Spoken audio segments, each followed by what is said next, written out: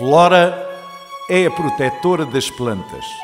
Consegue comunicar com as plantas e tem o poder de fazer crescer todas as plantas.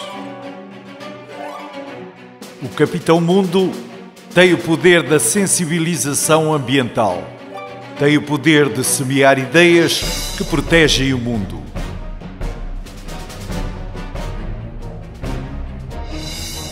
Amaralis é a protetora da fauna. Com a flor encantada, tem o poder de curar todos os seres vivos ao seu redor.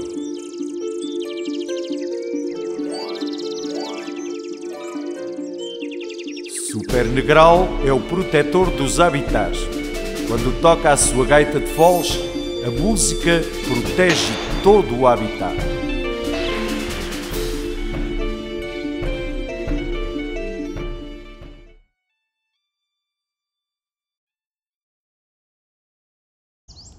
Sabias que nesta área protegida existe uma ave que só caça depois do pôr do sol?